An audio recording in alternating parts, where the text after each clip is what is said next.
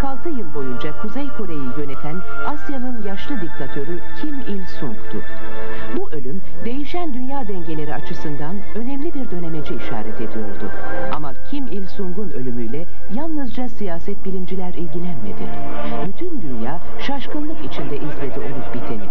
Kuzey Korelilerin yası, yaklaşık yarım yüzyıl boyunca başka lider tanımamış bir ülkenin psikolojisini sergiliyordu.